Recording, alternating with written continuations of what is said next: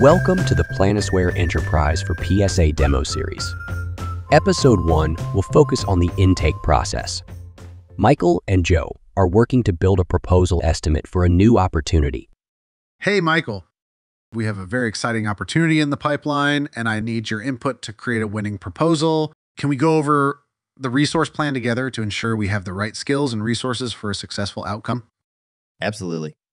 Just a heads up, let's be a bit cautious uh, with the data input. We've had some typos in the past causing issues and impacting our forecasts.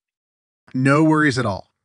We have now automated the bidirectional communication with our CRM Salesforce. This effortlessly fetches all the necessary information, eliminating any room for typos. Fantastic news. We're making progress. All right, let's dive into this opportunity and make it a success. This is the starting plan for all new implementations. Um, we know this is going to be a, a complex project, so I'm going to add some buffer to the planning phase.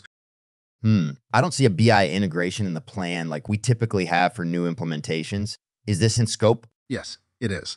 Uh, we have activity libraries, which lay out all the services we can tack onto the contract. You can just grab the relevant work packages, slot them in, and tailor them if necessary. Saves us from starting everything from scratch every time. The best part is it comes with resource forecasts, documents, and any other estimates we can standardize.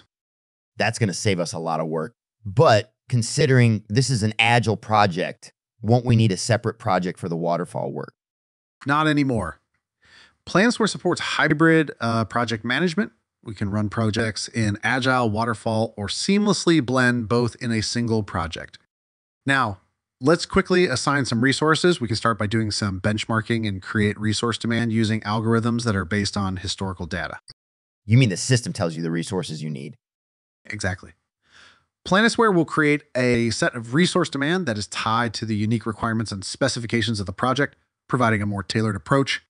Uh, we can then fine tune it as needed. That's awesome. Sounds like a huge time saver. Yes. Uh, and this initial resource plan looks good. We will also need an architect, so let's add that. Hmm. Which BI tool is in scope for the integration? Power BI. Why? We've got some resources with Power BI skills, so it might be a smart move to allocate them to this project. Just be sure to mention that skill in the request. Excellent suggestion. All right, the resource plan is set. Now let's dive into the overall pricing to see how it's shaping up. Here's the estimate breakdown total price and expected margins based on the rates from the billing office. Looks good, Joe. Considering the complexity, how about adding 15 more hours to the trainer role? It ensures we're well prepared for any special requirements like documentation or additional support needed. Good call. We want to ensure top service. Great. Now let's check our resource capacity. Our current capacity doesn't allow us to fulfill all the opportunities. If we were to win all opportunities today, it would put us in a difficult situation. Is this bottleneck specific to one role or does it apply to multiple roles? Well, if we break it down by role, we immediately see bottlenecks in the solutions architects group. Yes, looks like we have a busy quarter coming up for that team. Let's dig into where this demand is coming from. Yes, well, it looks like we're over capacity with this new op in the picture. RIBA Opportunity P13, I believe it's a lower priority and we haven't committed any resources yet. Could we ask Jen to push it to Q2? That's a good point.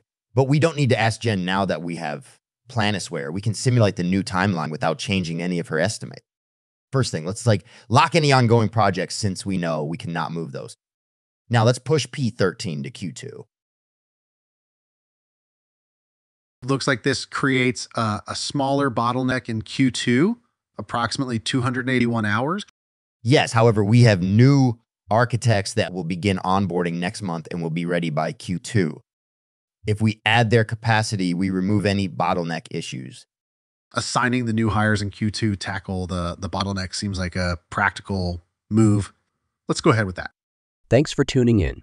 Check out our next episode to see how Joe and Michael work together to generate a proposal and find the best resource plan to staff the new opportunity. For any questions, reach us directly on our website at planisware.com. We hope to catch you on our next episode soon.